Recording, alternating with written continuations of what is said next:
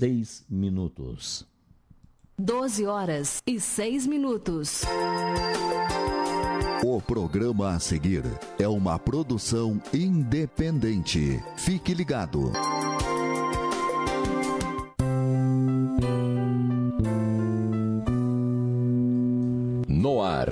Aqui pela Cultura, o programa Hora Evangélica, um programa da Paróquia Evangélica de Confissão Luterana Ascensão de Canguçu e Piratini, com sua sede localizada na Lacerda, primeiro distrito de Canguçu, filiada à IECLB, Igreja Evangélica de Confissão Luterana no Brasil.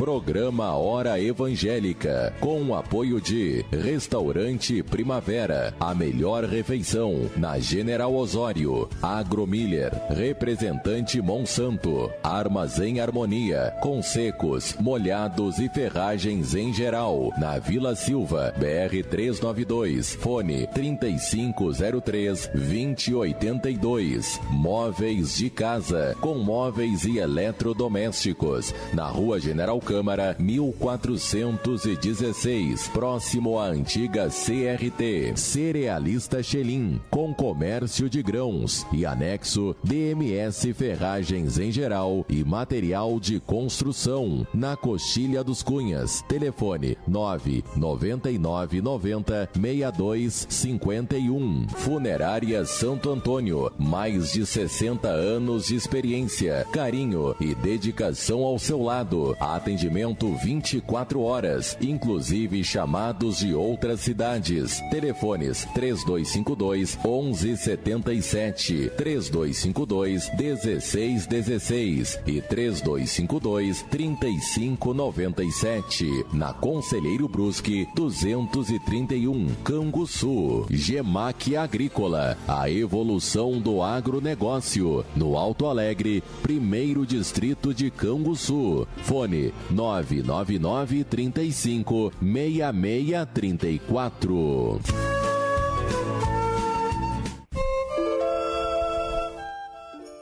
Boa tarde, ouvintes do programa Hora Evangélica da Paróquia Evangélica de Confissão Luterana Ascensão de Canguçu. Com muita alegria, eu, pastora Fabiane Schmidt Weiss, saúdo e acolho a cada um e uma de vocês que nos acompanha através da live do Facebook, mas também através da rádio, com a palavra de Filipenses do capítulo 2, o versículo 10 e 11, onde diz: Ao nome de Jesus se dobre todo o joelho, nos céus, na terra e debaixo da terra, e toda língua confesse que Jesus Cristo é Senhor, para a glória de Deus Pai. Amados irmãos, amadas irmãs, ao nome de Jesus se dobre todo joelho. E quando nós ouvimos esta palavra, nós precisamos nos perguntar: como está sendo o nosso testemunho desta palavra?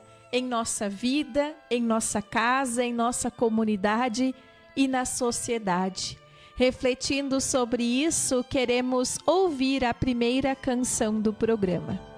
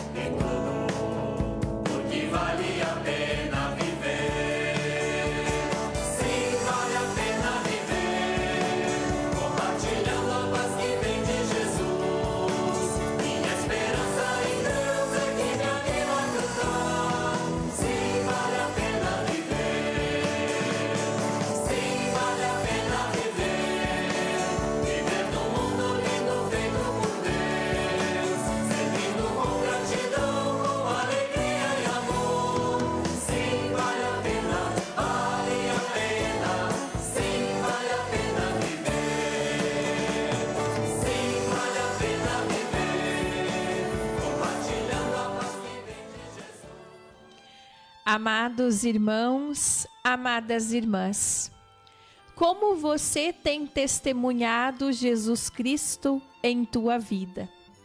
Se as pessoas olham para a forma como você vive, elas conseguem enxergar em ti um cristão, uma pessoa cristã? Como nós temos vivido isso no nosso dia a dia? Como nós temos testemunhado a Jesus nos tempos que vivemos?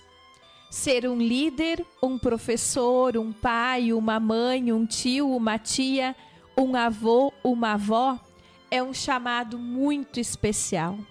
Todos nós, de uma maneira ou outra, estamos influenciando a nova geração.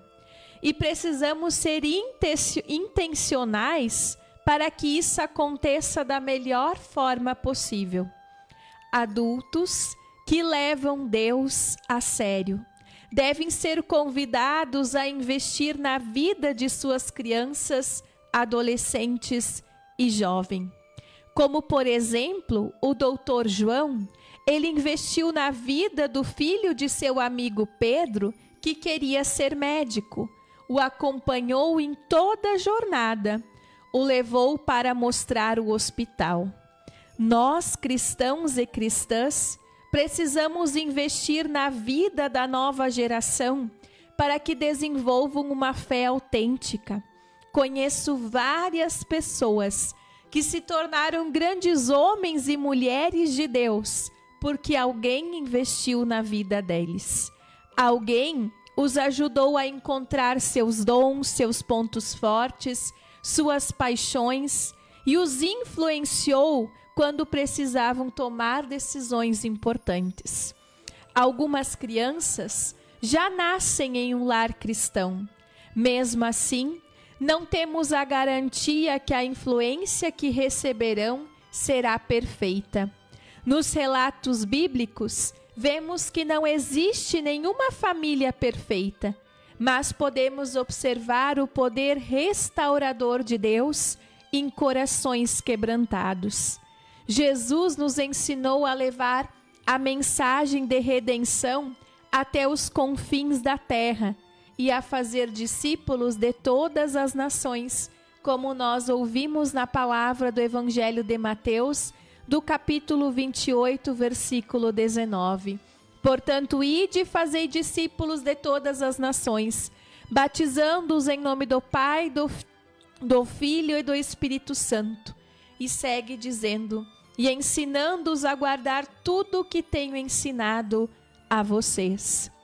Queremos que nossas crianças e adolescentes desenvolvam uma fé que possam usar em seu dia a dia e os preparem para os desafios que a vida irá lhes trazer.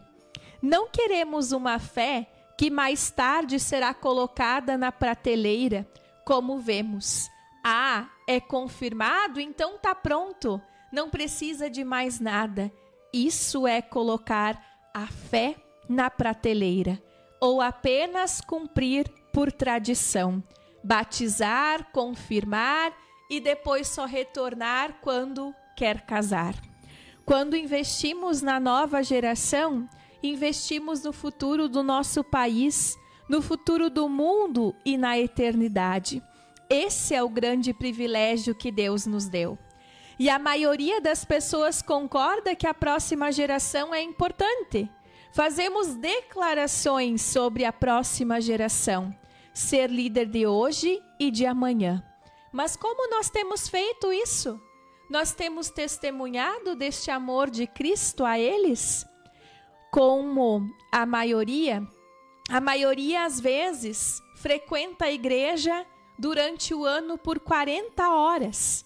E esse é um tempo extremamente valioso, eu diria assim há tanto na Bíblia que nós precisamos ensinar, mas nós temos que lembrar que a maioria do tempo quem está com eles, eles estão na família. E ali nós precisamos investir. Como nós falamos anteriormente, não queremos que eles desenvolvam uma fé que abandonam mais tarde. Queremos que eles tenham uma fé que eles usem no dia a dia, agora, testemunhando ela de forma marcante. E eu lembro que eu cresci, tive o privilégio de crescer junto do meu avô e da minha avó morando na mesma casa. E eu nunca esqueço a forma como minha avó me ensinou a fazer orações em alemão. Vater unser und ich bin klein, mein Herz ist rein, soll niemand drin wohnen, all Jesus allein.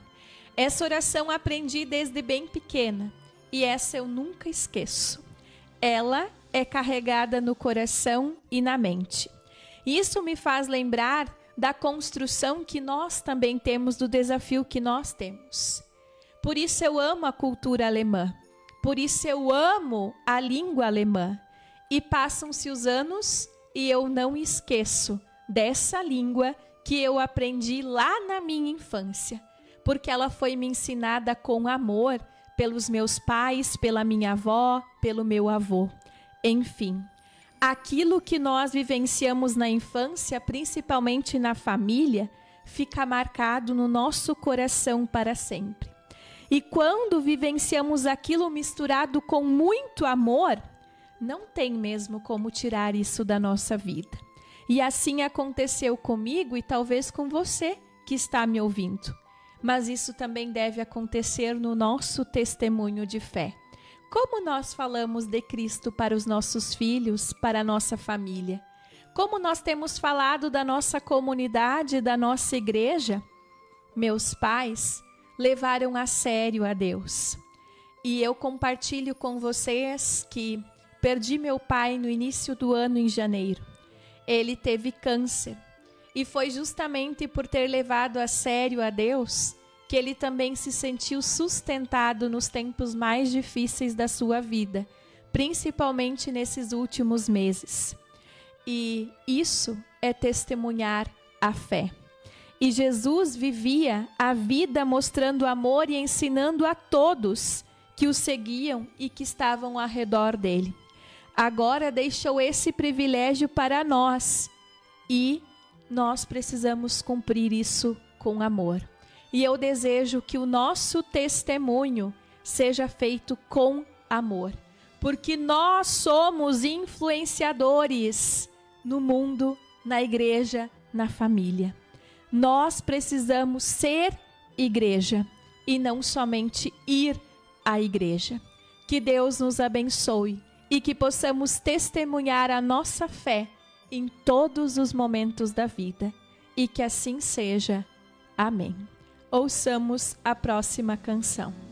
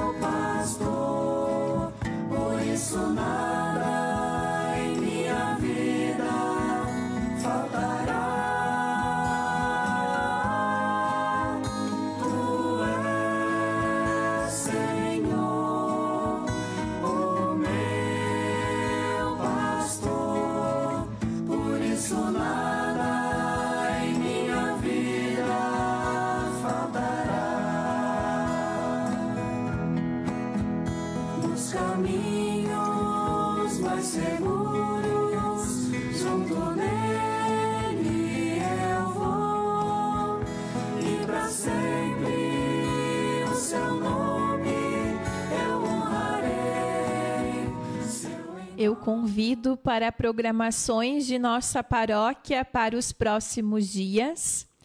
Hoje à tarde, às 14 horas, nós teremos assembleia na comunidade São João E no mesmo horário, nós também teremos culto infantil. Então, todos convidados a participar desse momento especial na comunidade São João de Assembleia e para as crianças o culto infantil.